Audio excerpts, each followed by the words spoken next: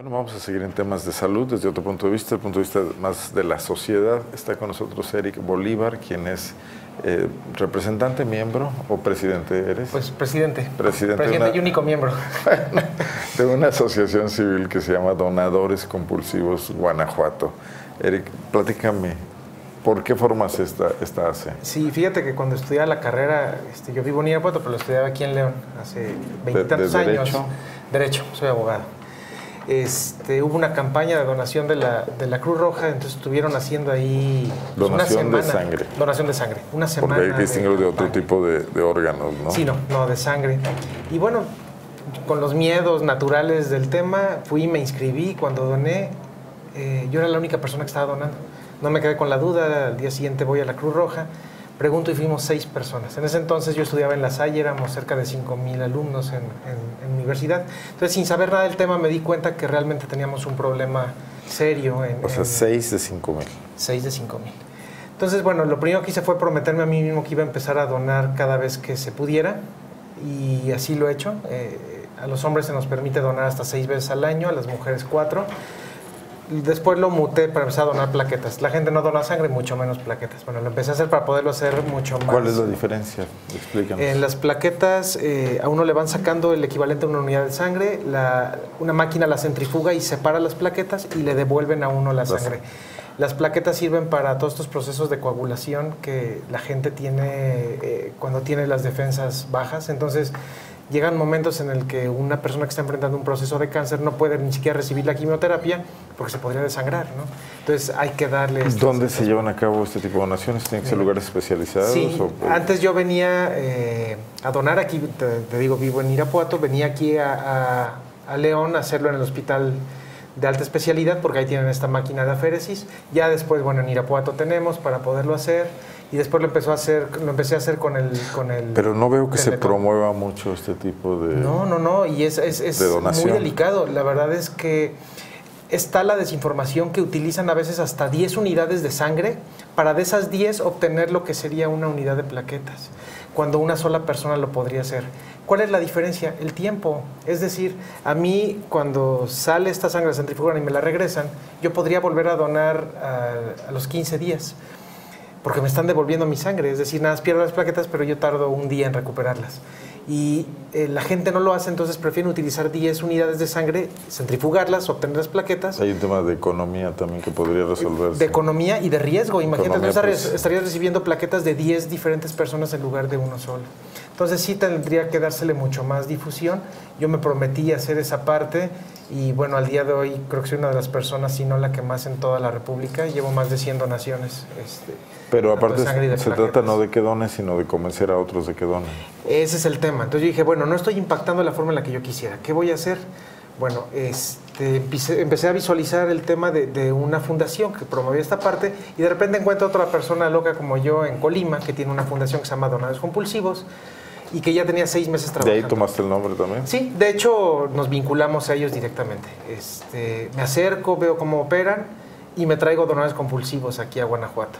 Empezamos hace seis meses y hemos hecho particularmente dos campañas. ¿Cómo funcionamos? Es, me vinculé con el Centro Estatal de Medicina Transfuncional de la Secretaría de Salud, que es el órgano rector de la cual dependen todos los bancos de sangre públicos, dependen de ellos aquí en el estado. Entonces me vinculo porque ellos son los que son capaces de captar las, las unidades de sangre. Y entonces lo que yo hago es voy con las escuelas, voy con las empresas y hago ahí algún proceso de vinculación donde eh, sensibilizo al personal. ¿Has tenido buenos resultados? Sí, fíjate que particularmente hace mes y medio hicimos una campaña en la Universidad de Guanajuato, en la División de Ciencias Económico-Administrativas, es por sí sola la división más grande de toda la universidad. A diferencia de lo que pasó en el Asalle hace años, acá sí no, lograste que más de seis fueran a donar. En tres días, sí, sí, sí. En tres días tuvimos 175 unidades de sangre. Para que podamos dimensionar eso es, para obtenerlas pasaron casi 500 muchachos a tratar de donar. Teníamos a los jóvenes haciendo cola para poder este, pasar. De repente sucede que se desmaya alguno y no perdían el entusiasmo, o sea, veían que su compañero estaba desmayando, les daban las risitas nerviosas, pero no se salían y ahí se quedaban. Entonces es como una parte también de empoderar al joven y, hacerlo partícipe de esta dinámica social y que ahí están, o sea, lo vimos con los sismos, los jóvenes dan la cara por esto. ¿no? Entonces teníamos a los jóvenes 175 unidades y para que se den una idea, equivalen más o menos al 10% de las unidades que obtiene Guanajuato en tema altruista en todo un año y eso que Guanajuato es el estado que más captación de sangre altruista tiene. O sea, sí tenemos un déficit como sociedad en este tema de la cultura de la donación de sangre. Mira, te como lo, tenemos en la donación de órganos. te lo planteo muy fácil. Este, la OMS señala que para que no haya un desabasto de sangre requerimos más o menos que el 50% de nuestras donaciones sean altruistas. En países primermundistas como Alemania se llegan al 90% bajo esta situación. En México tenemos un 3%. ¿Qué quiere decir eso? Que en realidad ante una contingencia es más fácil que la gente se muera por falta de sangre o por alguna derivado de... Debe haber ocurrido ahora en el sismo. Por supuesto que ocurrió. De hecho, en esta campaña que hicimos la semana pasada en el ITESI, donde obtuvimos 77 unidades, varias se fueron a la Ciudad de México. Eh, bueno, y a las zonas afectadas por el sismo. ¿Por qué? Porque eh, está rebasado por completo. O sea, vive al día en los bancos de sangre y si de repente hay una contingencia, que no tiene que ser un sismo, ¿eh? puede ser que si se accidenta, por ejemplo, un autobús de pasajeros y hay 10 heridos, cada herido en un choque puede requerir 10, 15 unidades de sangre. ¿De dónde la sacan? No hay. Y más si son este, este, algún factor ahí complicado, como los negativos, complicadísimo, complicadísimo. Entonces, sí se tiene que trabajar eh, muy fuerte, pero hay dos cosas. Primero, pese a que somos el estado que más recupera sangre altruista, resulta que no tenemos un programa como tal, o sea, no tiene presupuesto propio. Funciona en la Secretaría, en el Centro Estatal. Hay tres personas que, que operan sin un esquema de programa el, el tema de la, de la ¿La Cruz Roja lo promueve? Sí, también lo tiene. También lo tiene. Este, pero bueno, la realidad es que aquí. Bueno, y hay bancos de sangre comerciales que, que hacen negocio también, ¿no? Sí, Aprovechando ese déficit, me imagino, porque si, si, el altruismo ganara, dejaría de ser negocio. Aquí hay, aquí hay un tema. La gente que acude, por ejemplo, que a mí me dicen, oye, tienes un pariente en el, en el hospital y no lo van a dar de alta hasta que no obtengas o recuperes la sangre. Bueno, la gente que va por supuesto que cumple con estos estándares de altruismo, ¿no? Va sin recibir nada a cambio y de manera generosa, pero la realidad es que es focalizada, va para alguien en particular, entonces no se puede considerar dentro de, de una sangre altruista. Este, sí, hacerlo sin que medie ninguna circunstancia de, sí, de, de, urgencia, pago, de, pago, o de urgencia o personal tuya. Claro, claro, claro. Y los bancos de sangre privados que han proliferado ahorita, no es que ellos eh, comercialicen la sangre, porque eso es penado, es un delito pero sí lo que cobran son los estudios cruzados que se le hacen a la sangre, los insumos. Entonces, más o menos una unidad de sangre a una persona le puede costar 1.500 pesos, más otros 1.500 pesos que tiene que dejar en depósito hasta que lleve a una persona para recuperar esa sangre y se lo devuelven. Pero sí le habrá costado. Y las plaquetas pueden llegar a costar 12 mil pesos. Si alguien se motiva y dice, a ver, me parece muy interesante esto, creo que es una forma de ser solidario, eh, yo quiero donar sangre, ¿a dónde puede ir? Ok.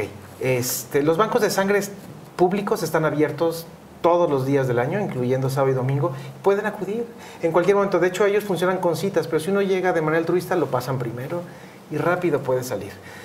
¿Qué beneficios tiene incluso para uno? Bueno, a uno Luego le dan en este un... país kafkiano vengo a donar sangre y todo. Fórmese ahí, llene tantos papeles no, y no, no, te, no, es que hasta no te pasa sorprende. eso. No, es que hasta les Está sorprende. sensibilizada Es, es tan extraño que la gente vaya así sin que medie algo para donar que, que hasta les sorprende y pásate, pásate, vente a ver.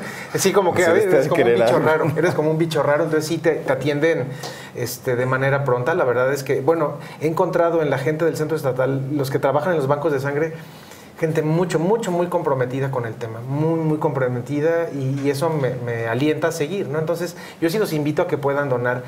Y hay un tema muy importante, la sangre no se puede fabricar, sin importar los adelantos, no se puede fabricar. Entonces, sin importar la condición social de una persona, si alguien requiere sangre y la pudo obtener, nada más fue porque alguien puso el brazo para que la obtuviera.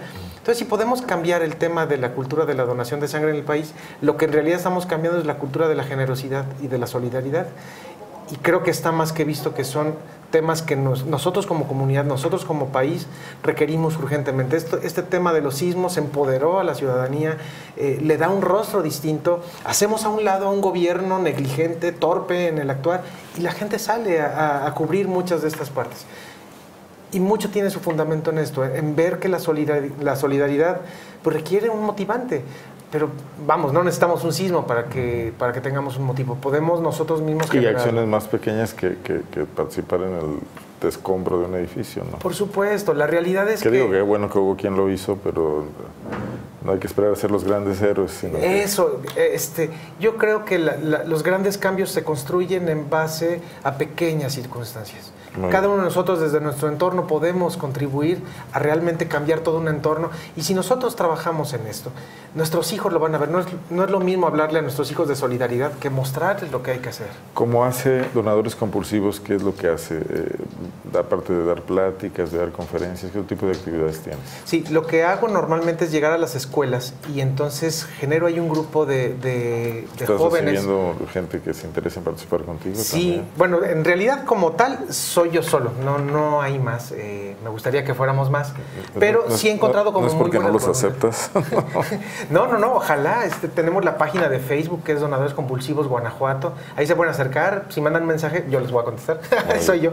No, pero a mí me y encantaría tú que se podrías ir a dar gente. charlas a cualquier lado que te A cualquier lado. A mí, a mí me interesa mucho esta parte. eh, vamos, mi motivación no parte de una necesidad propia. Afortunadamente, nadie cercano a mí algún día ha necesitado sangre, sino el hecho de ser donador compulsivo durante pues, veintitantos años me ha acercado a muchas historias muy fuertes, muchas historias muy fuertes, sobre todo con niños, con cáncer. Esa parte a mí me dobla. Entonces, este, para mí ha sido fundamental a la hora de educar a mis hijos el, que- el que convivan, el que vean. Yo creo que, yo creo que muchos podremos encontrar una motivación semejante. Ahí está la página, pueden acercarse a mí, podemos hacer un trabajo muy padre. ¿Qué es lo que hago con las, con las escuelas? Eh, trabajo con un grupo de jóvenes que después ya terminan haciendo el servicio social conmigo, precisamente para tener éxito en las campañas. Yo les pido a ellos que me puedan ayudar a estar replicando el mensaje. No tengo forma de llegar a los 6.000 alumnos. Entonces, de esa forma ellos me están este, enviando información y, y a toda la gente que se anotó. Entonces, ¿qué es lo que pasa Hay que cuando hacer llega la también. campaña? ¿Vale? Hay que hacer redes también. Sí, ¿no? haciendo redes. Es la única forma de poder asegurar, porque si no, a la gente le O da sea, por miedo. ejemplo, en caso de una emergencia, tú tendrías manera de comunicarte con todos estos donadores o algunos de ellos que ya, ya una vez lo hicieron y que podrían volver a hacerlo. La gente acude mm, muy a menudo conmigo, oye, ocupo donadores. Y digo, mira, no es que no te quiera ayudar, yo no tengo unidades, no te puedo decir, "Ay, ahí te van tus unidades. Lo que sí puedo hacer nosotros en la página de internet que tenemos de donadorescompulsivos.org, no en la de Facebook, sino en la de .org, tenemos un apartado que dice busco donadores. Entonces ahí uno mete todos los campos donde, cómo se llama el paciente, en qué hospital, cuántos requiero, y entonces genera un anuncio en automático. ¿Está De- funcionando? ¿Tú ¿Está sabido que se han conectado gente? Sí, ya por ahí hemos tenido ¿En gente. que redes estás presente? Sí, en redes sociales, en Facebook, este, Compulsivos Guanajuato y la página de internet donadoscompulsivos.org. Twitter no. Twitter no, no tenemos Twitter. Luego es como- rápido y activo. Pero Sí, le- lo voy, a, lo voy a hacer. Muy y bien. bueno, la realidad es que en eso estamos y pues ojalá la gente se sume, ¿no? Correctísimo, pues felicidades por esta labor. No, al verdad. contrario, muchas gracias por el espacio. Que son, por- entre otras, muchas cosas que haces, pero quedamos que hoy solo íbamos a platicar de donadores compulsivos con Eric Bolívar y ya otra, eh, otra vez platicaremos de otros temas, derechos humanos, participación política, etcétera, ¿no? ¿Te parece? Me parece perfecto, yo te lo agradezco muchísimo y, y ya veremos el espacio para poder venir a platicar. Y con, mucho gusto lo haré. Gracias. Es eh, una labor que suena fácil, pero que no- nadie, nadie o no muchos, la mayoría no nos estamos animando a hacer y que sería relativamente muy sencillo para mostrar solidaridad, generosidad, amor por el prójimo. Yo felicito de veras a Eric por esta iniciativa. Regreso en un momento.